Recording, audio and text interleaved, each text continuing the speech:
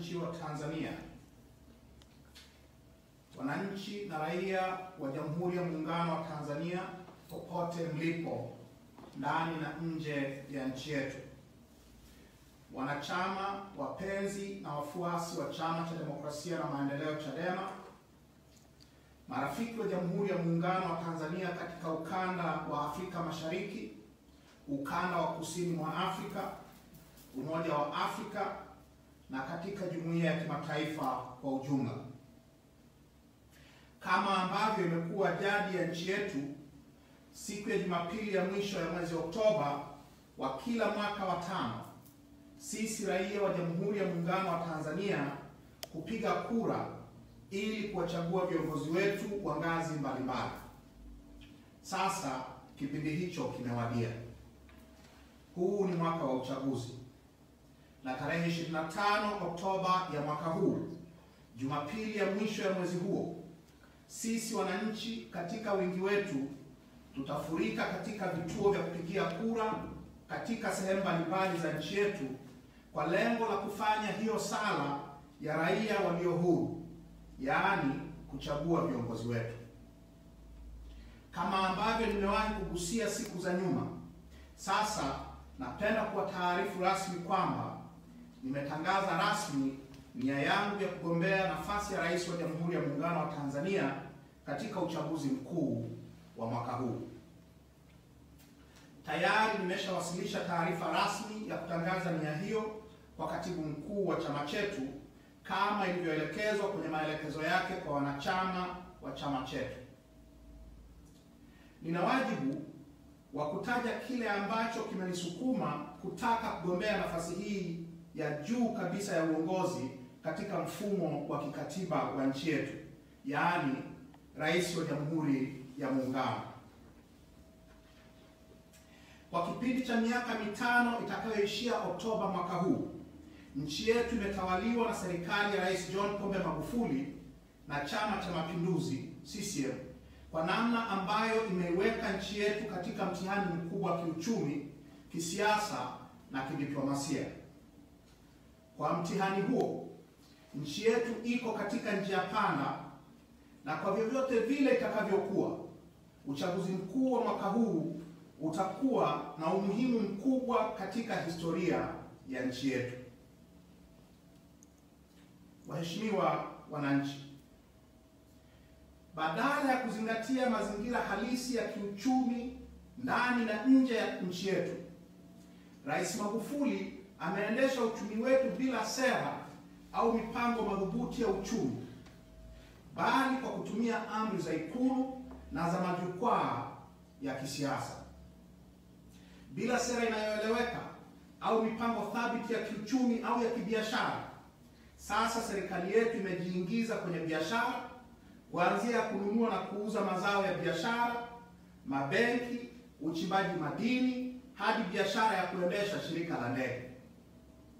Kwa kutumia njia hizo za amri za kisiasa, vyombo vya ulinzi na usalama vikiwemo Jeshi la Wananchi wa Tanzania, Jeshi la Polisi, Taasisi ya Kuzuia na Kupambana na Rushwa na Idara ya Usalama wa Taifa pamoja na Mamlaka ya Kodi TRA vimetumika kukamata kwa nguvu na kutaifisha mali za wafanyabiashara wetu wa ndani na makampuni ya uwekezaji kutoka nje.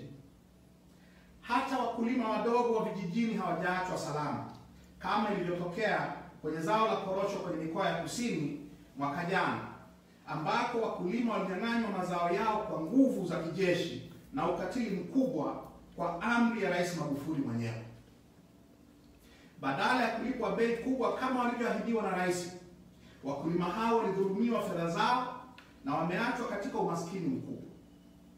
Hivi ndivyo ilivyotokea pia kwa wafanyabiashara wa maduka ya fedha za kigeni ambao walivamiwa na askari wa Jeshi la Wananchi na maafisa wa Benki Kuu na kunyang'anywa fedha na mali zao nyingine. Ili kupata fedha za kuendeshea miradi yake ya miundombinu, serikali ya Rais Magufuli imekusanya kodi kutoka kwa kila mwananchi na kila mfanyabiashara mkubwa na mdogo kwa ukatili mkubwa. Wafanyabiashara wamebambikiziwa kodi kubwa ambazo hazilingani na mapato yao au hali yao ya kibiashara. Wasioweza kulipa kodi hizo za kubambikiza sio tu wamefilisiwa, bali wengi wameshtakiwa kwa makosa makubwa ya kiuchumi ambayo hayana dhamana. Wengi wanaozea katika magereza mbalimbali ya nchi yetu kwa sababu ya kushindwa kulipa gharama kubwa wanazodaiwa kulipa ili kununua uhuru wao. Wengine hata wamefia magerezani au kutokana na mshtuko wa kunyang'anywa mali zao bila utaratibu. Matokeo ya sera hizi za kiuchumi za Rais Magufuli yanaonekana wazi. Uchumi wetu umeanguka. Wafanyabiashara wengi na wawekezaji kutoka nje ya nchi wamefunga biashara au kusitisha uwekezaji wao, na wengine wamekimbiza biashara na mitaji yao nchi za nje. Hali hii imesababisha mapato ya serikali kuanguka vibaya, ukosefu mkubwa wa ajira na umaskini wa wananchi wetu, hasa vijana na wanawake, umeongezeka. Hali ya kiuchumi ya wananchi wetu leo ni mbaya zaidi kuliko ilivyokuwa wakati Rais Magufuli anaingia madarakani mwaka 2015 na kabla ya hapo. Uchaguzi mkuu wa mwaka huu utaamua kama Rais Magufuli atapata fursa ya miaka mitano mingine ya kuendelea kuharibu uchumi wetu na kuwafukarisha wananchi wetu au kama tutaanza na mwanzo mpya wa kiuchumi kwa nchi yetu kwa kumwondoa yeye na chama chake madarakani kwanza. Ndugu wananchi, nchi yetu imekuwa nchi ya wajane, yatima na vilema. Tangu mwaka 1984 nchi yetu imekuwa na hati ya haki za binadamu katika katiba yetu ambayo imeweka na kufafanua haki mbalimbali za binadamu na wajibu wa wananchi. Ndani ya miaka mitano ya utawala huu, utaratibu wote wa haki za binadamu na utawala wa sheria umechanwa chanwa vipande na serikali ya Rais Magufuli na vyombo vyake vya ulinzi na usalama. Tanzania imekuwa nchi ya vilio na machozi ya wajane, yatima na vilema wa viungo na kisaikolojia wa miaka mitano ya utawala wa Rais Magufuli. Upotezaji watu, utekaji nyara, utesaji na ukandamizaji wa wakosoaji wa serikali kwa kuwafungulia kesi za kubambikiza za uchochezi, makosa ya mtandao au ya utakatishaji fedha, mauaji ya wananchi wasiokuwa na hatia yoyote na wapinzani wa serikali na chama tawala. Haya ni baadhi tu ya matendo mabaya yaliyokithiri sana katika Tanzania ya Magufuli.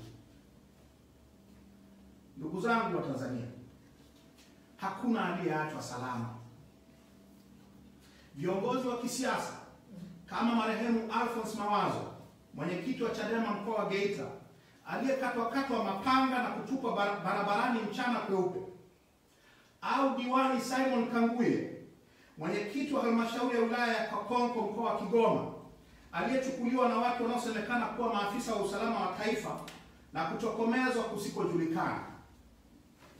Wanaharakati wa mitandaoni na waandishi wa habari kama Ben Saanane, msaidizi wa mwenyekiti wa Chadema taifa, aliyenaswa na watu wasiojulikana na kupotezwa hadi leo, au mwandishi wa habari Azori Gwanda aliyechukuliwa nyumbani kwake na watu waliojitambulisha kuwa maaskari polisi na hadi leo hajulikani alipo.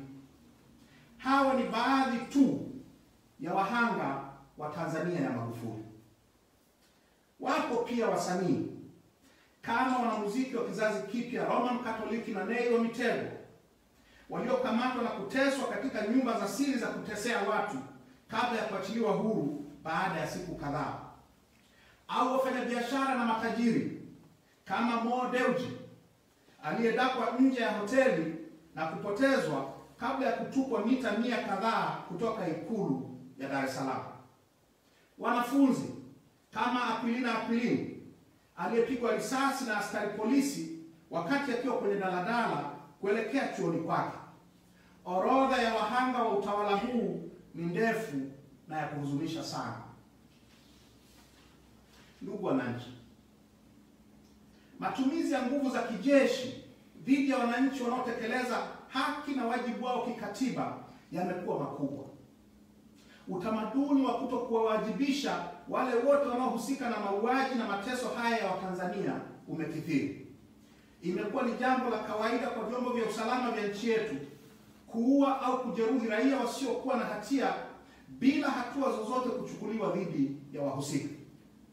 Ukweli kwamba natolea tangazo hili la nia ya kugombea urais nikiwa uhamishoni barani Ulaya badala ya kulitolea nikiwa ndani ya nchi nilikozaliwa na kukulia ni ushahidi tosha wa majanga makubwa ambayo yameikumba nchi yetu katika miaka hii mitano ya utawala wa Rais Magufuli. Uchaguzi mkuu wa mwaka huu utaonyesha ni kiasi gani wananchi wa Tanzania hawako tayari tena kuendelea kuonewa, kudhalilishwa na kunyanyaswa na wale waliowapa dhamana ya kuwaongoza au kama bado wako tayari kuendelea kuwa kwenye minyororo hii.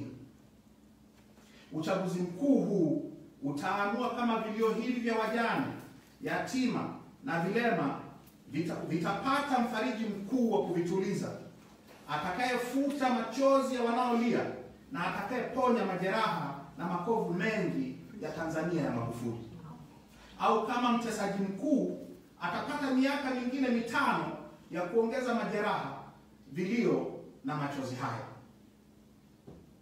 Ndugu zangu wa Tanzania, nchi yetu imekabiliwa na utawala wa kiimla. Tangu nchi yetu ilipoingia katika mfumo wa kidemokrasia wa vyama vingi vya siasa mwaka 1992, mfumo huo wa kidemokrasia umekuwa na kukomaa kama ushahidi wa chaguzi mbalimbali zilizofanyika tangu wakati huo unavyodhihirisha. Hata hivyo, tangu aingie madarakani, Rais Magufuli ametangaza vita kubwa dhidi ya mfumo wa kidemokrasia wa vyama vingi vya siasa.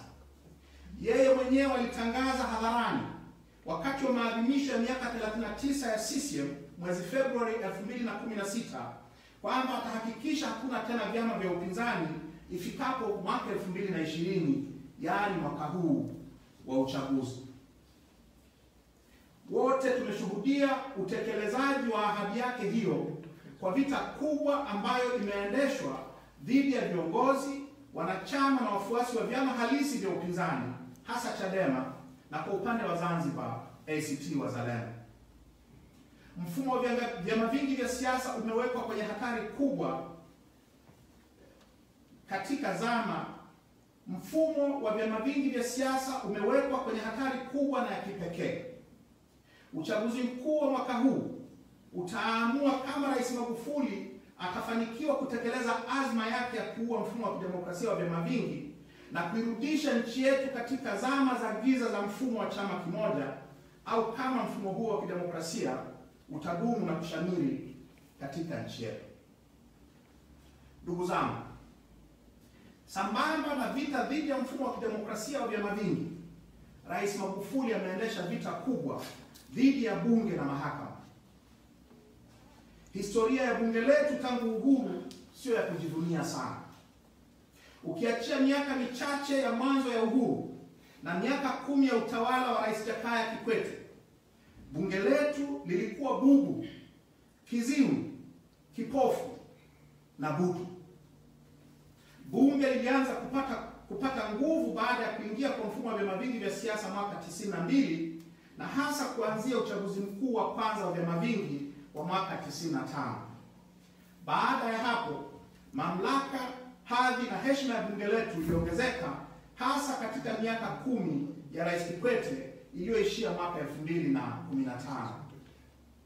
Ni heshima kubwa kwa marais wetu, kwa marais wa nchi yetu wa wakati wa vyama vingi, hasa Rais Jakaya Kikwete kwamba wakati wa utawala wao bunge letu lilipata nguvu na heshima kubwa mbele ya wananchi na katika jumuiya ya kimataifa. Ni heshima kubwa kwa maspika wa bunge letu wa kipindi hicho, hasa marehemu Samuel John Sita na mama Anna Makinda, kwamba katika uongozi wao wa bunge letu, bunge letu lilipata sauti ya kusemea, masikio ya kusikia, macho ya kuona na meno ya kuuma katika kutekeleza wajibu wake wa kikatiba wa kuisimamia na kuishauri serikali.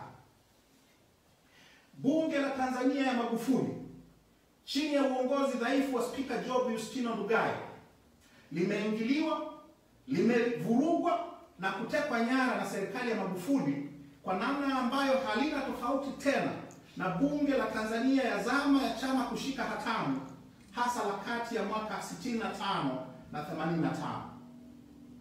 Uchaguzi mkuu wa mwaka huu utaamua kama tutarudi kwenye bunge linalojitambua kama la marehemu Sita na la Mama Makinda au kama tutaongezewa miaka mingine mitano ya bunge lililopoteza mwelekeo kama hili la Spika Ndugai. Ndugu zangu wa Tanzania, mahakama imekuwa mateka. Rais Magufuli ameingilia na kuvuruga mfumo uhuru wa mahakama ya Tanzania kwa namna ambayo haijawahi kutokea katika historia yetu yote. Amewatisha na kuwadhalilisha hadharani majaji wa mahakama zetu za juu. Ameondoa baadhi ya majaji kinyume na utaratibu uliowekwa na katiba ya nchi yetu. Ameingilia utendaji wao wa kazi kwa kuelekeza namna ya kufanya kazi zao wakati yeye sio mwanasheria. Ametoa ahadi za kuizawadia mahakama endapo itawatia hatiani watuhumiwa wa kesi za kubambikiza za serikali yake. Ameahidi hadharani kuwapandisha vyeo mahakimu waliowafunga wapinzani wa CCM na kuwafanya majaji wa mahakama kuu. Matokeo ya vitendo hivi vya Rais Magufuli ni kwamba mahakama imekuwa sehemu kubwa ya kukandamiza haki za binadamu za wananchi wetu. Badala ya kuwa chombo cha kulinda katiba yetu, haki za binadamu na utawala wa sheria, mahakama imegeuzwa na utawala huu kuwa chombo cha kukandamiza haki kwa kunyima watuhumiwa wa kesi za kubambikizia dhamana, kuwarubuni majaji na mahakimu wetu ili watoe adhabu kali kwa wapinzani wa serikali au watumie visingizio vya kiufundi vya kisheria ili kukwepa kutenda haki ya msingi kwa mujibu wa sheria. Uchaguzi mkuu wa mwaka huu utaamua kama tutaendelea kuwa na mahakama inayotumika kukanyaga haki za wananchi au tutakuwa na mahakama itakayolinda misingi muhimu ya kikatiba na haki za binadamu za wananchi wetu. Ndugu zangu, nchi yetu imekuwa fungo wa kimataifa. Rais wa nchi yoyote ile ni mwanadiplomasia mkuu wa nchi yake. Kwa takriban robo karne ya uongozi wake, baba wa taifa aliiweka Tanzania yetu katika ramani ya kidiplomasia ya dunia. Tulitengeneza marafiki na washirika wa maendeleo katika pande zote mbili za vita baridi. Tulitengeneza mshikamano na mahusiano ya karibu na nchi za Afrika Mashariki. Tulikuwa mstari wa mbele katika harakati za ukombozi wa nchi za kusini mwa Afrika na tulikuwa kinara katika harakati za kuunganisha nguvu za bara la Afrika na ulimwengu wa tatu. Nchi yetu na viongozi wake waliheshimika kila mahali duniani. Tuliielewa na kuiheshimu dunia na dunia ilituelewa na ilituheshimu. Kwa sababu ya kuwa na mahusiano hayo mema na jumuiya ya kimataifa, nchi yetu ilifaidika sana na fursa na misaada mbalimbali ya jumuiya ya kimataifa. Tulijengewa reli ya Tazara na Wachina.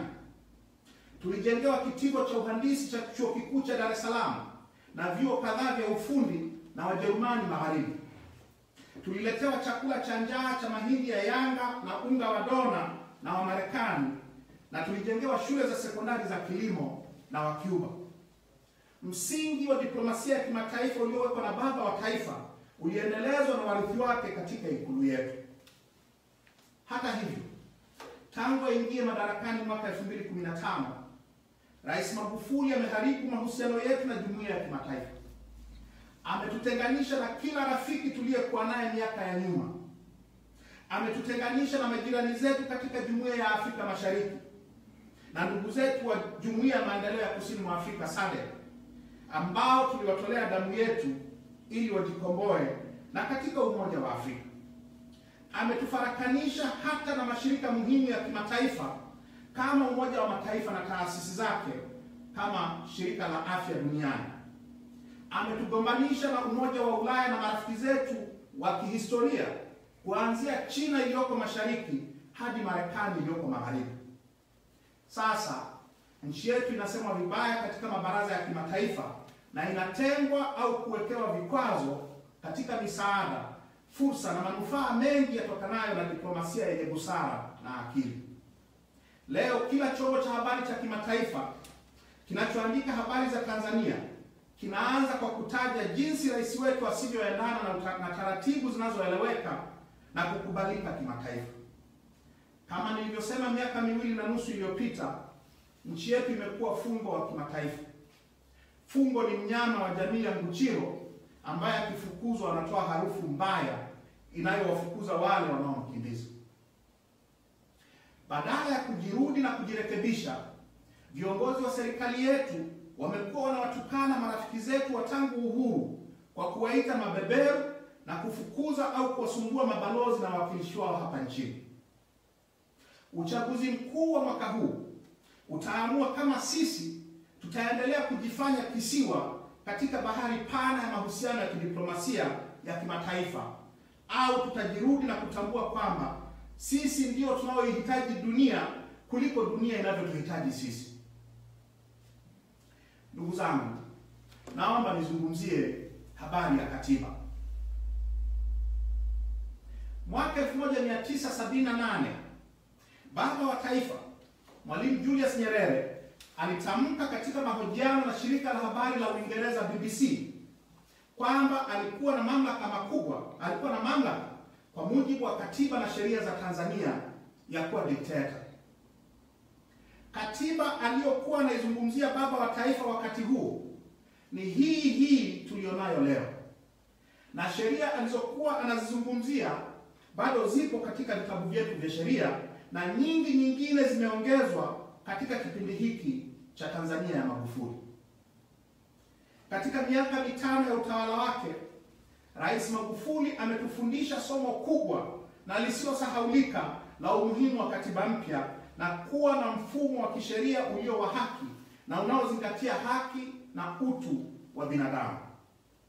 Uchaguzi mkuu wa mwaka huu utaamua kama tumelielewa somo hili kubwa na tuko tayari, hatuko tayari kuendelea kuwa na katiba na sheria zinazotengeneza watawala wenye mamlaka ya kidikteta au kama tutarudi kwenye mchakato wa kutengeneza katiba mpya uliovurugwa na wana CCM mwaka 2014.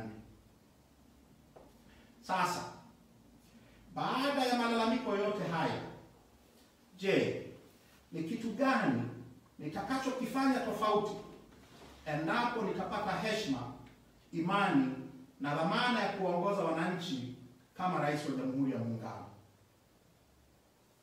Endapo nitachaguliwa kuwa rais, serikali yangu itaandaa sera thabiti za kiuchumi zitakazohakikisha kwamba serikali inabakia kama mwangalizi wa shughuli za kiuchumi zinazoendeshwa na sekta binafsi. Aidha, serikali itakuwa msimamizi wa maslahi ya jumla ya wananchi ili kuhakikisha usalama wa bidhaa na udhibiti wa bei za bidhaa na huduma muhimu kwa ustawi wa wananchi.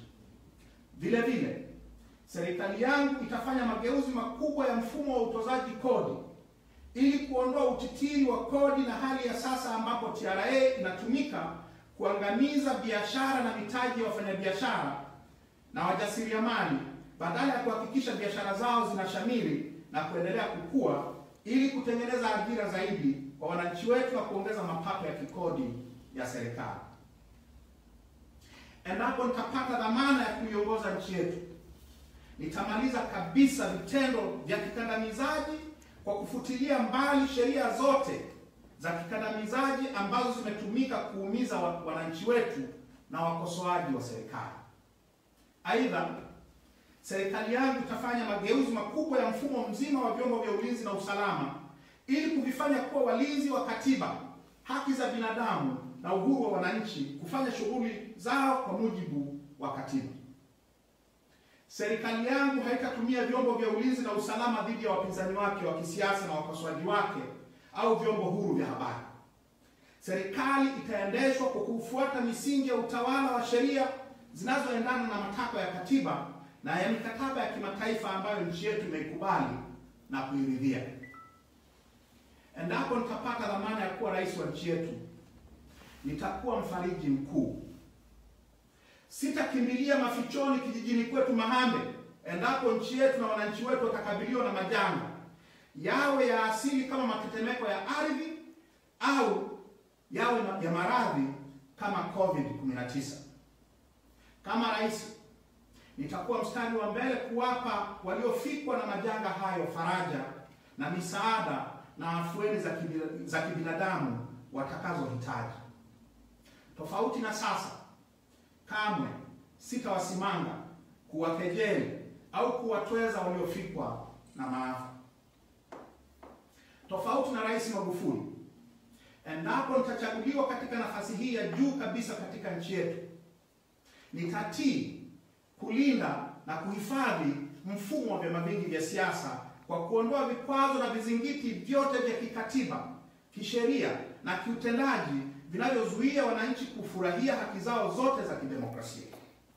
Katika uongozi wangu, mazuio ya mikutano ya hadhara na maandamano ya kisiasa ya wananchi, wawe kwenye vyama vya siasa au katika taasisi zao nyingine, yataondolewa. Kazi ya vyombo vya usalama itakuwa kulinda mikutano na maandamano hayo badala ya kuwa vyombo vya kudhibiti wapinzani wa kisiasa wa chama na serikali iliyoko madarakani. Endapo nitapata ridhaa ya wananchi kuwaongoza kama rais, nitarudisha hadhi, heshima na madaraka ya bunge letu kama mhimili huru wa dola wenye mamlaka yanayolingana na ya serikali ndani ya mipaka yake iliyowekwa na katiba. Nitaondoa vikwazo vyote vyote vya kikatiba, kisheria na kiutendaji ambavyo vimelizuia bunge letu kutekeleza wajibu wake wa kuisimamia na kuiwajibisha serikali na kuwawakilisha wananchi. Nitaondoa kifungo na mateka iliyowekwa katika mahakama zetu. Nitaheshimu uhuru wa mahakama. Nitaheshimu nafasi ya mahakama ya Tanzania na majaji na mahakimu na watendaji wote wa mahakama katika kutekeleza wajibu wao wa kutenda haki bila upendeleo, chuki wala.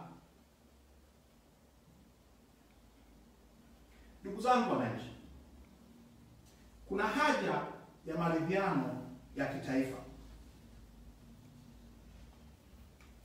Mahatma Gandhi, mwasisi wa taifa la India, aliwahi kusema, jicho kwa jicho itatufanya wote vipofu.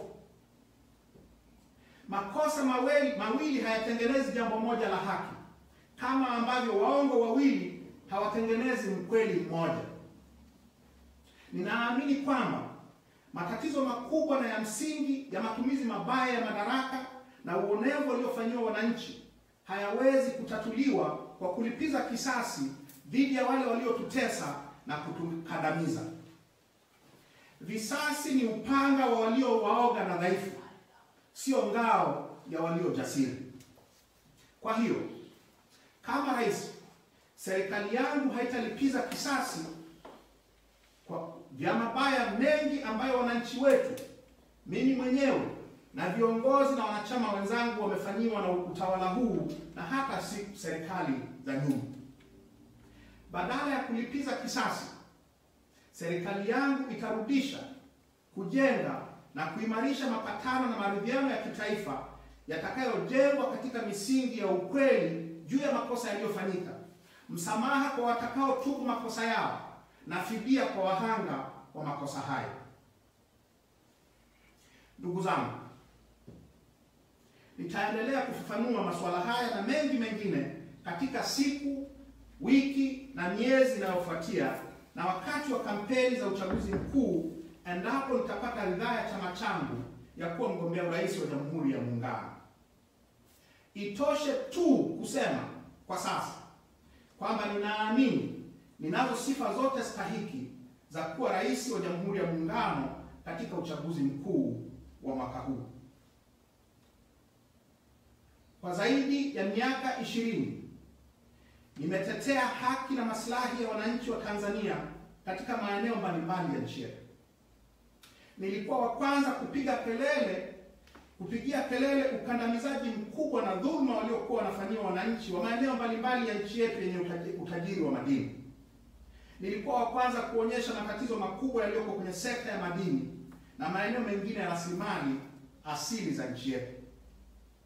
Kwa miaka saba kabla ya risasi 16 za watu wasiojulikana wa utawala wa Magufuli hazijaniondoa bungeni na Tanzania, niliongoza mapambano ya haki, utawala wa sheria na demokrasia kama mnadhimu mkuu wa kambi rasmi ya upinzani bungeni. Niliongoza na kuratibu harakati za kupigania katiba mpya bungeni na, katika bunge maalum la katiba kati ya mwaka 2011 na 2014. Nimekuwa rais wa chama cha mawakili wa Tanganyika kabla ya uongozi wangu kukatishwa kikatili na waitwao watu wasiojulikana Septemba 7 mwaka 2017. Msimamo wangu katika masuala yote muhimu ya nchi yetu na ya watu wetu unajulikana wazi na wote na haujawahi kutetereka. Katika utumishi wa kitaaluma na kisiasa wa zaidi ya miaka ishirini, nimetembelea kila mkoa na karibu kila wilaya ya nchi yetu. Kwa sababu hiyo, ninaifahamu Tanzania kwa undani na ninawafahamu wa Tanzania. Ninaelewa hofu zao na ninaelewa matumaini yao. Muhimu zaidi, ninafahamu hifadhi kubwa ya nguvu, akili na ubunifu wa Tanzania ambao umejificha kwa sababu ya watu wetu kulazimishwa kuishi katika mazingira ya kikandamizaji na yaliyojaa hofu na kuto kujiamini. Katika kipindi chote hicho, nimetembelea, kusoma na kufanya kazi katika nchi mbalimbali za dunia. Nimeishi, kusoma na kufanya kazi katika Afrika yetu, Ulaya na Marekani ya Kaskazini. Katika mabara yote ya dunia hii ni bara la Australia peke yake ndilo sijalitembelea. Ninaelewa masuala ya kimataifa kwa mapana. Kwa sababu hiyo, nitaleta katika urais wa nchi yetu sio tu ufahamu wa Tanzania na Watanzania, bali pia uelewa wa mifumo ya kiuchumi, kisiasa na kijamii ya kimataifa na nafasi yetu katika mifumo hiyo. Kwa sababu nimekuwa mmoja wa wahanga wakubwa wa Tanzania ya Magufuli, ninafahamu maana ya kuishi chini ya utawala wa aina hii ambao tumekuwa nao sasa kwa miaka mitano. Nina uwezo wa kuwafuta machozi wale wote waliofanywa wajane na yatima na vilema wa utawala huu. Nina uwezo wa kutibu majeraha na makovu mengi ambayo wamesababishiwa watu wetu wengi.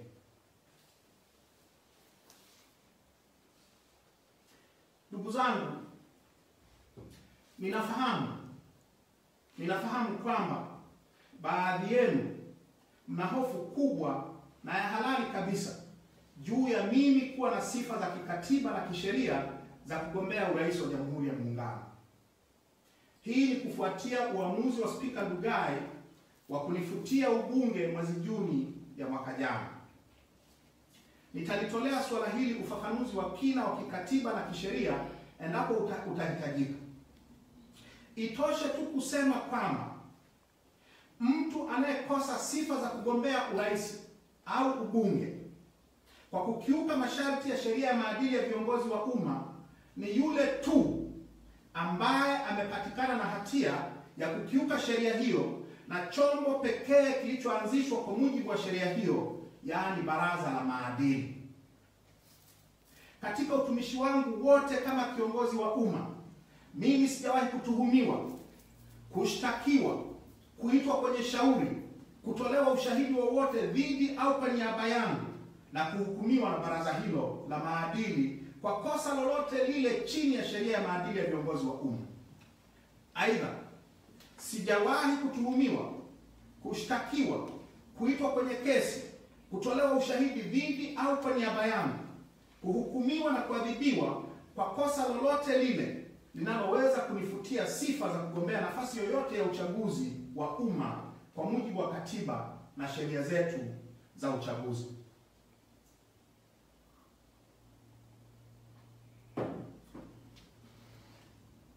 Spika Ndugai ni spika wa Bunge la Jamhuri ya Muungano. Hata hivyo, licha ya dhamana hiyo kubwa ya uongozi aliyonayo kitaifa, yeye siyo baraza la maadili na wala sio mwenyekiti wake au mjumbe wake. Kwa sababu hiyo, uamuzi wa Spika Ndugai wa kunifutia ubunge haujaniondolea sifa za kugombea urais wa Jamhuri ya Muungano wa Tanzania au nafasi nyingine yoyote ya uongozi. Kwa hiyo, wananchi wenzangu, na waombeni wote mniunge mkono katika safari hii ngumu iliyoko mbele yetu ya kuhakikisha kwamba tunatibu majeraha na makovu mengi na makubwa ya taifa letu. Tunawatunza wajane, yatima na vilema wengi wa miaka hii mitano. Tunafuta machozi na kutupilia mbali hofu tulizojazwa katika miaka hii ya adha kubwa. Tunawaweka huru wafungwa na mateka wa utawala huu. Tunaleta haki, amani ya moyo na nafuu ya maisha kwa watu wetu wote na kulirudisha taifa letu katika misingi ya utu, haki na ubinadamu.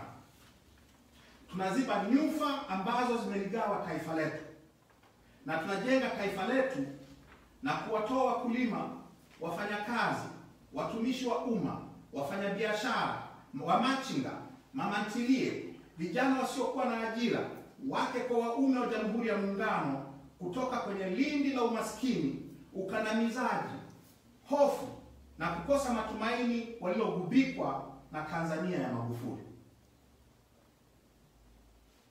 Naomba nimalizie. Nelson Mandela, rais wa kwanza wa Afrika Kusini huru na ya kidemokrasia, alisema maneno yafuatayo siku alipoapishwa rais wa nchi hiyo tarehe 10 Mei 1994,